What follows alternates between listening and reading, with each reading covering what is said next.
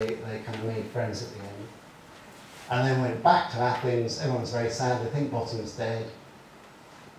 And then this is Starveling being the moon in the play within the play. Uh, and he's basically, his moon is a balloon with a light bulb in it. Uh, and everyone thinks that's very nice.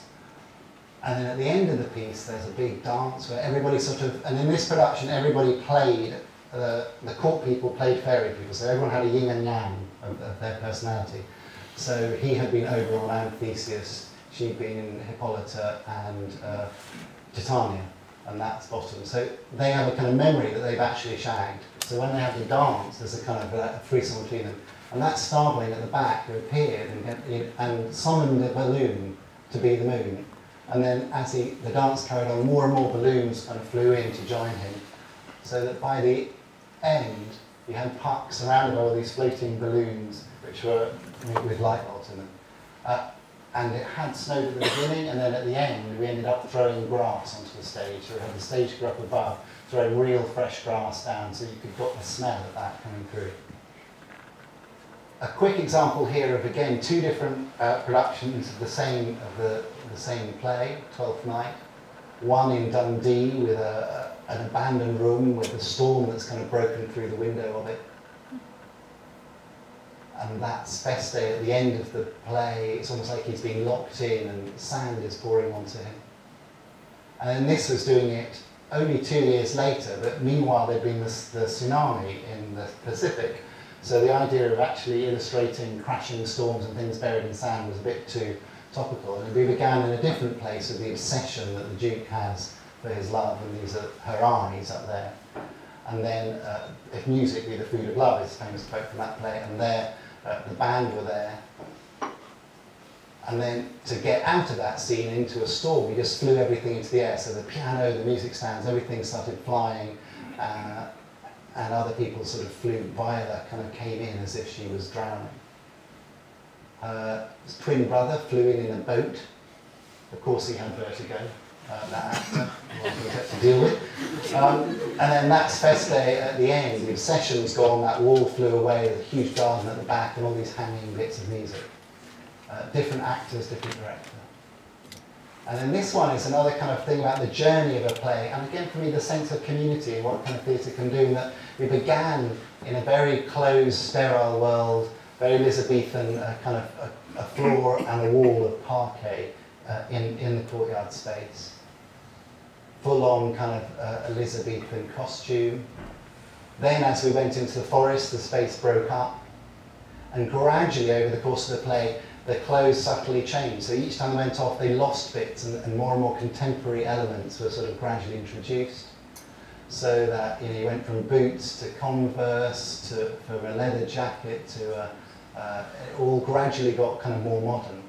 And the whole space got kind of broken up and poetry and letters were put everywhere. And then when the audience went out at the end, that poetry had been put up by the crew in the foyer and right down the street. So the whole kind of feel of love and love poetry carried on all the way down. And that's their kind of wild party then. So in the course of that journey, you know, you went from that, that rigid Elizabethan into a communal sharing with the audience in, in a very contemporary sort of country way. Other times, there's a very specific brief, so this was a collaboration with uh, uh, uh, director called Iqbal Khan on Much About Nothing, which wanted to set in, in India. So luckily that involved a trip to India for research, which was an amazing kind of privilege to do, and converting the courtyard theatre into uh, Haveli architecture with a kind of tree that went into the space and then mixed with all the electrical cables like most trees in Delhi seem to do. And then at the end of that piece, uh, two of the bits slid away and it rained and rain kind of poured through the piece. This is the kind of mock funeral much ado. And then more recently, um, again, for me, the power of imagination on, on the theatre stage. This was Christmas Truce, which was uh, a story about the famous football match that kind of took place on Christmas Day when uh, the Germans and the British stopped fighting, and they kind of offered that brief moment of hope that perhaps you know, there, was, there was another way out, sadly crushed. Uh, and the Warwickshires, which where Stratford is, were, a regiment involved in that. Again, it's in a court, it's in a thrust space. There is a kind of decorative element at the back, a kind of landscape and these sort of curtains, which like abstract green trees. all began with a cricket match. That's what that is there. And this is them doing rifle training. And then to make the trenches, one of the things, the, the challenge, I suppose, theatrically, is a trench is a very difficult thing. You get bogged down in it naturalistically, so you can't actually make a trench in theatre. So we took with us on our journey into France all the props and things that we'd had when we'd been at the village fete we began with. So there were step ladders, there were chairs, there were bales of straw and boxes, and we added in these things which are actually First World War uh, camp beds, but upside down. They have a rather wonderful quality of sort of barbed wire. So that was then creating a trench, and our visual kind of cameras that were moved down, so we shared their viewpoint, and that trench at the top became the new horizon. This is them going to, to war in the kind of a, a battle moment just before the Christmas. That's actually them in, the, in with the audience and about to go up on stage.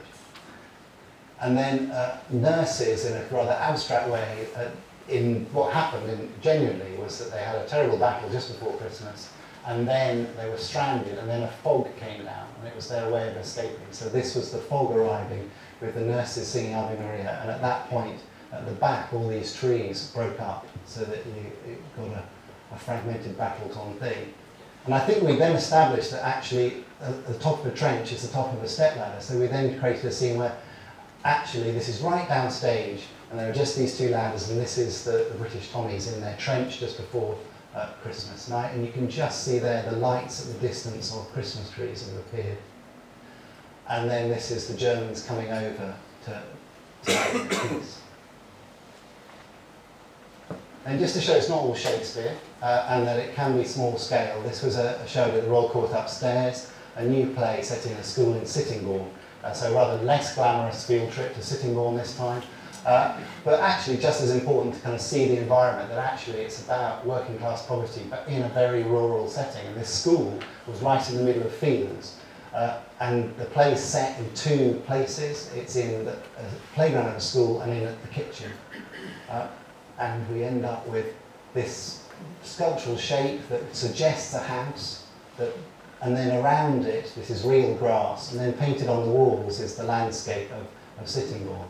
So it's both an evocation of that landscape uh, but abstracted and then to go to the kitchen scene we just brought in those bits of furniture. And actually we didn't need a kitchen, you know, they talked maybe we might, want to make a sandwich and they made it so we didn't need a cupboard, we didn't need that filmic TV napkins all we needed was a bottle of vodka with a red top. And then this is an example of kind of some of the exhibition design that I've done, which is also about a kind of narrative and about, this was Shakespeare Stage in the World at the British Museum. And it, um, it began with a big abstract wooden O, and above it radiating these rays, which were above the first folio displayed below it. So it was almost like everything stemmed from those words. And then, then you kind of, I would call them the audience, would walk through a series of, of rooms and spaces that take you on a journey through different environments and through finally into a kind of revelation at the end of an entirely white, almost like a gallery room at the end. Uh, and we used the same language and materials, so this was plywood that here is uh, cut into strips with uh, Shakespearean text giving an almost like an abstract breakup like uh, from leaves, that's the countryside element. And this is the witchcraft section where the plywood was all blasted with, uh, as if it's been burnt and red for all, all the exhibits. And then what you've all been waiting for, thank you for staying with me up to this point. so, second half, uh, wake up everybody. This is um, uh, Lands and Seas of Red. So there's always been a lot about this in, in the media and, and, and lots of things. So and you're getting kind of my version of it. It's an interesting, strange collaboration that came out, not something I was expecting. Uh, uh I thought it was going to be a job that was going to last about three weeks, uh, and it's still, it's still going. Um, it began with Paul's central idea of one poppy per life. He approached the Tower of London. He happened to know somebody called, uh, or in fact, there's a guy at the Tower of London called John Brown, who scarily is titled the head of security and operations. He's actually a lovely man, but very good at organising things. And he had a friend called Paul Cummins, who wasn't this Paul Cummins. So when Paul Cummins ran up wanted to talk to somebody, he took the call and Paul started talking to him about this idea. So he said, okay, come in and, and talk to us. They also had working for them newly a woman called Deborah Shaw, who had been at the RSC working as a producer on our uh, World Shakespeare Festival. Uh, and she kind of said to Paul, well, I think, you know, it's such an enormous undertaking. I think you're going to need somebody else to collaborate with, someone who, you know, has an experience of large scale kind of work. So they, they say, they called me in. Um, and initially, my brief was, such as there was a brief, was, you know, to help design the installation. So I said, well, does that mean I can actually design it? So um, what Paul's original vision was, which is, it, it, is very, is great, is the entire motor filled with poppies.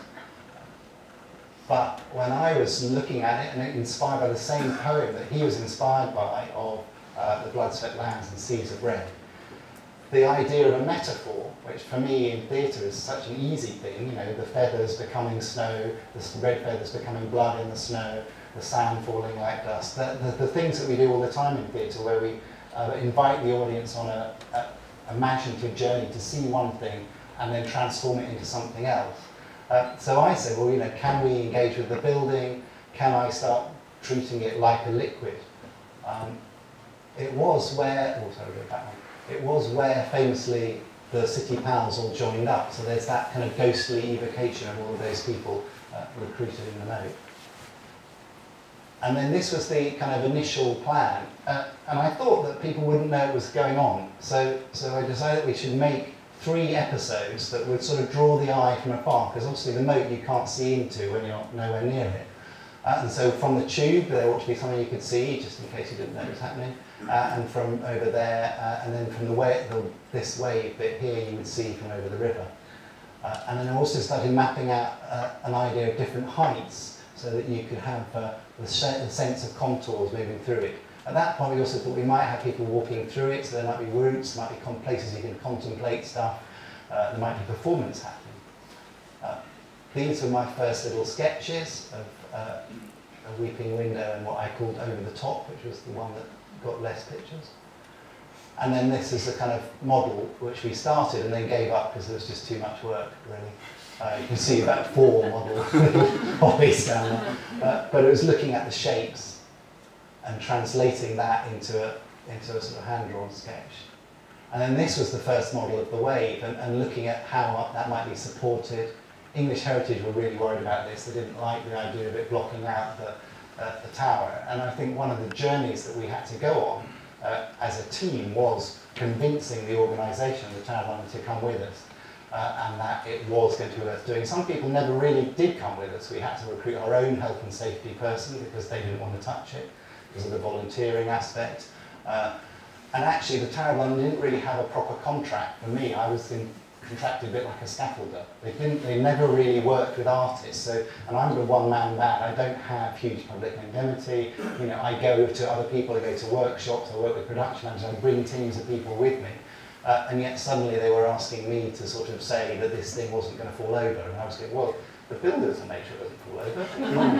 um, and the other problem I felt is that actually there was too much of the structure. You could see the structure, and I, and I explored, you know, should that be evocations of trench architecture, because uh, for me this was sort of an abstraction of the men going over the top.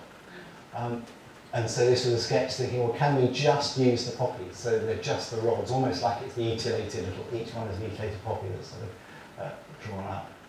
Uh, and then that's sort of how the, the curve might develop. Oh, yeah. And then here, the difficulty of drawing it on CAD. Oh, sorry, go back one. Ah. Say, So, and there, they actually, that's it, the ambulance. Um, up until the day they started installing this, I hadn't heard about the fact that we needed to get an ambulance across this bridge. Um, and the builders rang up in a panic and said, we, we, we're going to have to move it back because they need to get an ambulance through. Um, and so they were, they were proposing to site the whole thing kind of way back there, there would be a huge gap. And I had to sort of fight and go, actually, can we make sure, can you draw an ambulance in the picture and see whether we can get them through? Uh, and they agreed in the end, so we were able to keep it as close as I wanted it to be. Yeah. oh it's doing something weird now. Anyway. Um, so this was the development of the plan there was a moment when we thought we might have poppies in the middle that would flow down, but this was too archaeologically sensitive. We couldn't, uh, we couldn't bang them into the ground there, and we couldn't afford to make uh, the frames that we need to put them down there. Uh, this became a, uh, that was our grassy knoll, which was where the event of the uh, 150 names that were read out every night, which the public could nominate, which I did one night, which was a very uh, sort of moving sort of and terrifying thing to do with a bugler behind you. Um, and then these are the early samples where Paul was struggling to find a glaze that would give you the kind of the deep red, but we were looking at how many we needed per square metre. So we got to about 50. And this is Paul in his workshop with all of the, uh, the sort of each copy handmade. In the end, they had to go out to about four different workshops to make them. All done by hand. That's John Brown, the guy from the tower who sort of made it all happen.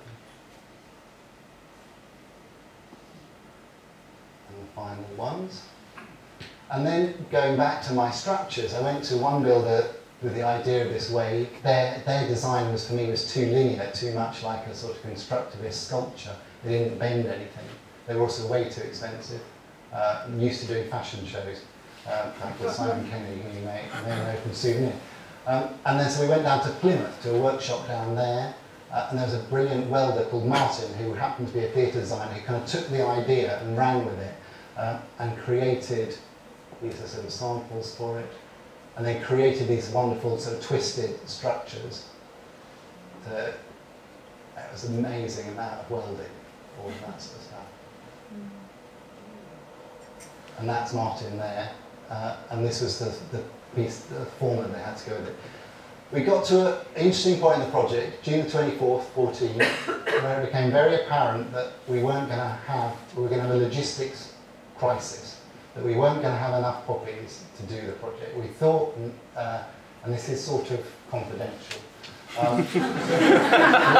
we, we, we, thought that, well, the original plan had been that we would get all of them and we would plant them from the 17th of July through to the 4th of August, and we would do the whole lot. Not quite sure how we thought we were going to do it, but the whole lot with, with a lot of volunteers, and everybody was geared up for this. We then discovered that actually this wasn't going to happen.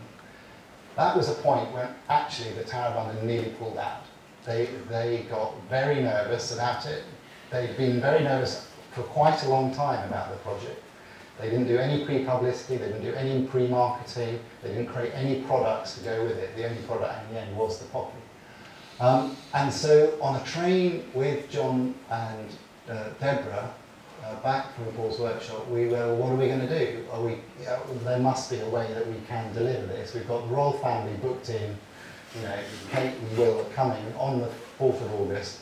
So will there be anything there? And I was saying we could be really bold and they could plant the first poppy. And you no, I don't that's going to work. You know, that's, that's just a bit too far. So we went, so I looked at what can we do with about 80,000. Uh, and so we thought we would keep the, the, the, the weeping window over the top and the wave, we'd make those structures and then we'd feed it all together and join it like a little thin thing so that it's those things that are causing uh, the event to happen. And then we're just going to have to get a lot more volunteers and maybe nobody will come. Um, so this was a, a very quick sketch of how the beginning might look. It might go around like that and then it could look like that, but more likely probably like that. Um, and luckily, the tower supported that idea. I think they felt they had committed sort of so far, and it got that balance where actually they couldn't not do it, I think. Um, so we did, we did sort of steam ahead. So this is the installation of the way. It took about sort of five days. Nobody knew what we were doing. All, you know,